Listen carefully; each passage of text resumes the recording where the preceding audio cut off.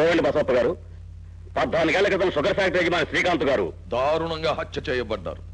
ఆయన్ను హత్య చేసే నేరానికి ఈ రాజేశ్వరి పద్నాలుగేళ్ళు జైలు శిక్ష కూడా అనుభవించింది. అయినా ఎప్పుడో ముగిసిపోయిన ఈ కేసు ఇప్పుడు విచారణ చేయడంలో అర్థమేమిటో నాకు బొత్తిగా తెలియడం లేదు. ఆ కేసు ముగిసిపోవచ్చు బసవప్ప. కానీ నా భర్తని నువ్వు హత్య చేశావన్న కేసు అలాగే ఉంది. దాని మీదే ఇప్పుడు విచారణ జరుగుతుంది. సార్ మీకు ఫోన్ వచ్చింది. సార్ ఫోన్ వచ్చిందట. మాట్లాడి రావచ్చా? అలాగే వెళ్ళిరండి. హలో ఎవరు? బసవప్ప బోసు బాబా. ఎంక్వైరీలో నా తండ్రిని శ్రీకాంత్ని చంపింది నువ్వే నేను ఒప్పుకుని ఎంక్వైరీ ఆఫీసర్ని తీసుకుని సరాసరి జడ్జి గారింటికి రావాలి. రాకపోతే?